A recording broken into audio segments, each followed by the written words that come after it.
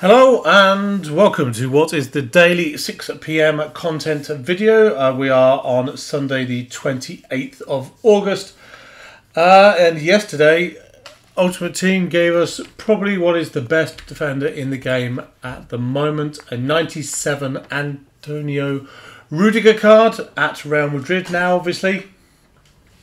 Um, and obviously a couple of days... Ooh. Didn't expect that to sell for that much, but there you go. Cool. Um, before that, we had Gabriel Jesus and Erling Haaland, both of new Premiership clubs. Um, so today we're going to check for new contents, new updates, etc. See what is going on with today's game. Um, judging by what we've seen so far, there is nothing new in the objectives section at all. Although we only have three and a bit days left of um, this season, so won't be expecting a whole lot. But you never know. You never know what they're likely to drop. They could drop something surprising something that might actually be worthwhile looking at today. An inventive. Ooh, Renato Sanches is gonna be good. Now, him going to PSG, um, he's had moves to quote big clubs before, but him going to PSG is a. They've done him a bit dirty. Actually, the defending is going to be the heading, isn't it? Yeah. 90 plus in the other defending stats that counts really good physicals, really good dribbling, really good pace. I mean, it's a good card. I don't need to tell you that. 96 flair passes as well. One of the new traits that we're going to see more often with players now. Um, outside the foot shot trait, which is useful, and the flair, which is also, if you like, a midfielder with some flair. The passing is really good, actually. I'm not even not even sure what card I would put on this? What do you need to improve? What you could go with the anchor, max out the pace, pretty much max out the defending and the physicals. Then his passing is already really good. You would use him more defensively than offensively, and the dribbling is almost perfect anyway. I've got a feeling this is going to be a reasonable price considering where we are. Um, I think it's going to be an 87 and an 88. 87, 80. Wait. Restrictions on. Well, uh, first off, I was right about what squad it's, squads it's going to be. But you have to have an 87 rated squad with a minimum of two or more 88 rated players or higher. So basically, they're stopping people putting in an entire squad of 87s. I would imagine that most people now would be doing something along the lines of putting in spare or duplicate special cards. I mean, this is how I've completed most of my um, recent SBCs. you have high rated cards like that coming in, and then you bung out the rest with golds and then hope that it makes the rating. I mean, this probably isn't, but we'll have a look anyway. There you go, it does actually, it's one over. We haven't got a PSG player in there. And to be honest, we can, because Renato Sanches would be coming in, we could have a look at what PSG, uh, what French league midfielders we've got at the moment, to be honest, I would probably dump Rafinha. I'm happy without that card. I like the Verratti, and actually Tchouameni could go. No, actually, we'll keep that one. I could quite happily dump Rafinha in instead of Muller. We'd have to. There's no chem requirement. No chemistry requirement is nice. It just means you can literally use whoever you want. Can we put Vertonghen instead of Szczesny? Yes, we can. Okay, can we put Szczesny instead of Visca? We could probably go down lower than that, so that's a good thing. But if EA are thinking that for an 88 rated squad, people are putting 11 88 rated players in, then they're mad. because of the 85 times 10, we're getting duplicates that we can use in SBCs from that. I mean, I don't think I've done an SBC since we got into silly season, post team of season, all the footy stuff, where I haven't done like four special. You, well, you guys, anybody who's watched my videos before would have seen me do the 85 times 10, and you put four or so special guards in, and then the rest are gold. That's how you do them. But Renato Sanches is new. It's a good looking card. Obviously 96 rated. Can't really complain about that.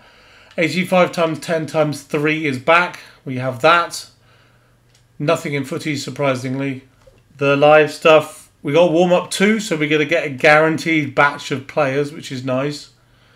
And there is nothing else new going on here. So we're going to put all of our bronzes into here. Um, can we, have we got these any any left? Oh, we've got two. Oh no, he wasn't bronze. We can put him in anyway.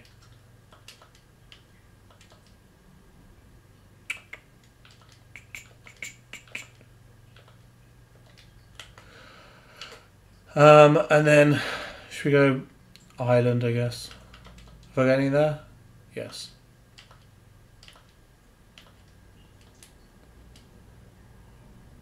Thirty chem. Ooh, chemistry. There we go. So we get one one of 384 plus player pick for doing this little SBC. As you see, one of 384 plus. So do that, and then because we've completed that bit, that's nice. We'll take a D Thomas, and then what? And then from that, we get to go over to this objective section, and gives us five 85 pluses, which will be useful for the 85 times 10, obviously, and might even get a good player out of it. Who knows? Let's reset all of these first. Missed that. I'm finding that, that, as you saw earlier on, the kits are selling better. These are all done done for what was on the market price at the time. So let's go back, get that D Thomas card, assuming it will let me. Assuming that's it will just. Hmm. Okay. Hmm. Okay. I'm assuming the D Thomas one went into my squad already. And from the 85 times 5, we have a Luka Modric. So as you see, like referring back to my previous point, this is a duplicate card. Therefore, he's going to be one of the cards I put into uh, the SBC. One of the SBCs, whether it's Renato Sanches. Okay, thank you for that. Um, whether it's Renato Sanches or whether it's 85 times 10. But we got two nicely rated um, exchangeable cards, really. So that's pretty good. Um, Renato Sanchez is a favourite of people who play EA, uh, people who play Ultimate Team. His low centre of gravity, um, the aggression, the fact that he's got a good all-round game, um, always good physical stats and good pace as well, always combines well together to make him a pretty useful card, to be honest. Plus, he's Portuguese, so he'll link with your Ronaldo's, your Bruno Fernandes's, your Gelson Martinez, all of that kind of thing.